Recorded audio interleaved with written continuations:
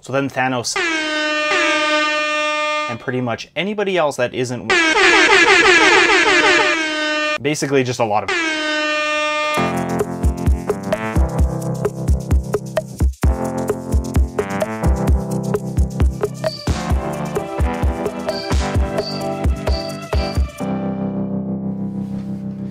Hey folks, so I know it's been a while. It's been a month or two at least. We've been just really busy. I had a bunch of busy days where I was doing video stuff. Holly's in school. You're looking for a new house and we're looking for a new car and we're looking for a whole bunch of other stuff. So in the next couple of episodes, you might see stuff getting moved around or whatnot, depending on how frequently I update these, or I might just be in a new location altogether. So we'll see what happens. Anyways, today we're going to talk about spoilers. This episode isn't going to be full of any kinds of spoilers, but it's going to be filled with explanations of spoilers. So beware.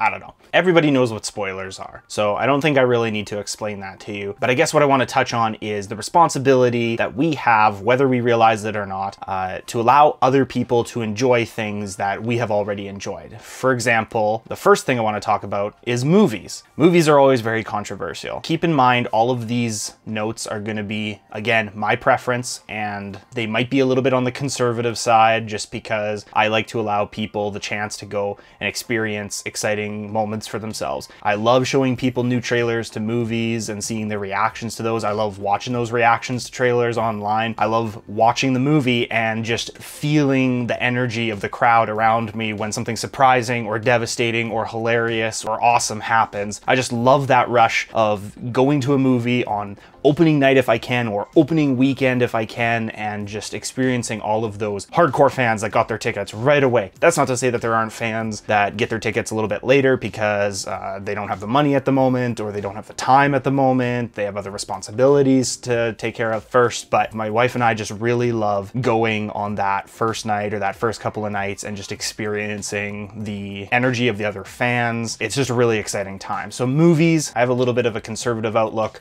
when it comes to spoilers on movies. We're coming at this from the angle of if you're posting a review online, pretty much always blanket it with a spoiler warning. But if you're posting a video of a reaction or you're posting some questions that you have publicly about what happened in the movie, just be aware of these couple of things. So there's about two or three different times that you need to be aware of when it comes to spoilers in regards to anything. But for movies, first of all, release day. Now, back when I was just getting into going to the theaters quite regularly, movies would come out with early showings on, let's say it came out on a Friday. So they'd come out with early showings on a Friday. Fast forward several years to now, and you have movies that are coming out on Thursday night, for example, for a Friday showing. So there's like a 24 hour preview showing.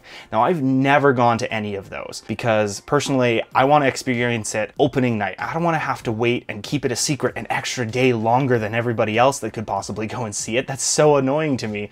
I want to be able to talk about it. So, but coming up at the end of May, my wife and I and a few friends are going to go see the new Solo Star Wars story movie. That's my first time seeing it on a pre-show day. So it's going to be on the Thursday, not on the Friday release day. So uh, that doesn't really make much difference to probably most of you, but I, it's just a weird thing for me to go before it's technically premiered. When you go and see a movie opening night, keep in mind that probably until the following Monday or so, at least let the weekend go before you post anything about it. I think just out of respect for the people that want to go and see it, you can post reactions to it, but even those sometimes, just an emoji via text can give people a warning as to what to expect. And while they've already probably watched the trailers. Hopefully they haven't spoiled it for themselves yet. Just be aware that some of those extra things that you do and say can give a little bit too much insight into the movie. I experienced that with the most recent Infinity War movie for Avengers. I saw a couple of spoilers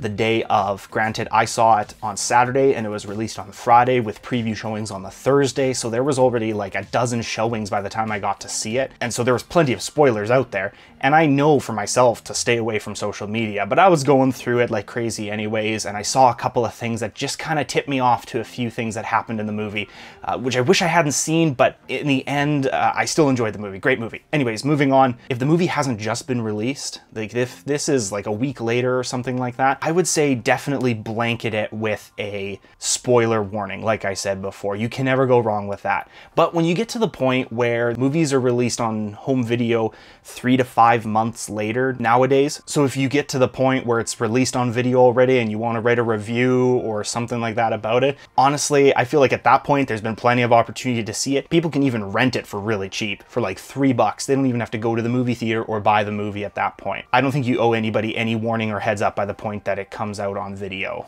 Okay, and then the second thing is television. That follows pretty closely in the form of media, but not really in the form of distribution. So television show is different. If you're paying for cable, you're already paying to get the television show. So at least have the thought that some people get a little bit busy during the week and don't have time to sit down on a Tuesday or Wednesday evening to watch that show, so they might need to wait till the weekend or the following week. If the show airs, give at least two days, give 48 hours before you start posting a ton of stuff about it, just to give people that buffer period to like get a chance to watch it. If the air date was a week ago and there's already a new episode out or there's a new episode coming out that night, I think, again, a spoiler warning is probably fine, but lots of review websites that I see post reviews two days, three days after the original air date of that previous episode.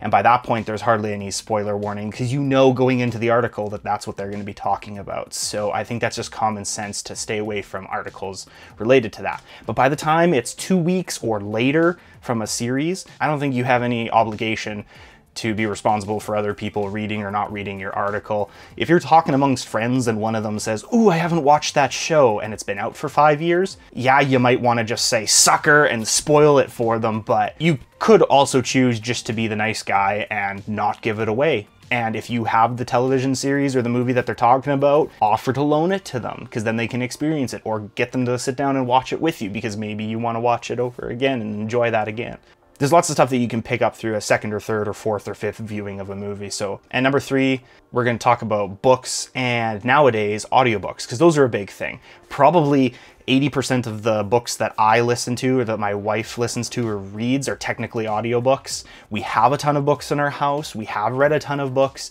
but now that we have iPods, now that we've got podcasts, now that we've got iTunes or Audible or public library system that lets you take out a CD or download an MP3 file of a book and listen to it for your rental period, that's, I think, fantastic. But then that also means that people can go through books much quicker than they used to be able to. So as far as books books go, if it's a new release, I would say give it a week before you start posting a ton of stuff about it. Again, if these are like articles about reviews, if you blanket statement something with a spoiler warning, I'd say you have about a month that you can use in that first month, just blanket it with a spoiler warning. But if it comes down to the point where it's been past a month and people have had a chance to actually buy the book or borrow or download the book online, then I think that you don't have any obligation after that, especially if it's a book that comes out hardcover and you get around to the paperback edition, then it's just all bets are off. Video games, I don't play video games myself, but I kind of feel like video games are a mixture of a book and a movie.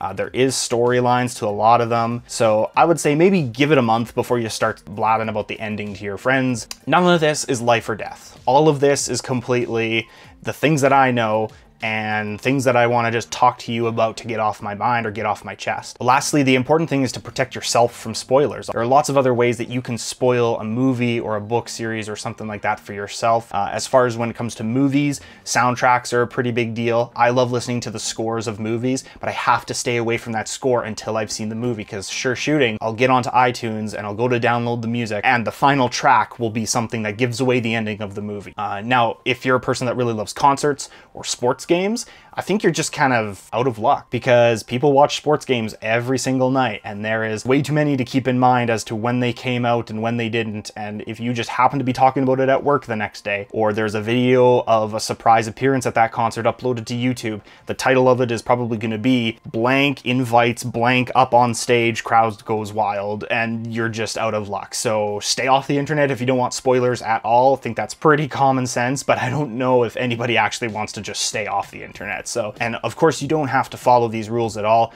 I'm pretty sure that the idea for this video came from an article I read a number of years ago, which I cannot find now. That article's author had written about their preferences on spoilers for things like books and movies, etc. So if you can find that article, post it below. I'll add it into the description because I don't want to steal somebody else's thunder. But I just thought that it was something to talk to you about, something that you could know a little bit more about. Again, if you have suggestions about what I should talk about next, just feel free to leave them in the description below and I might try to tackle them in another video. Thanks for watching. We'll see you again.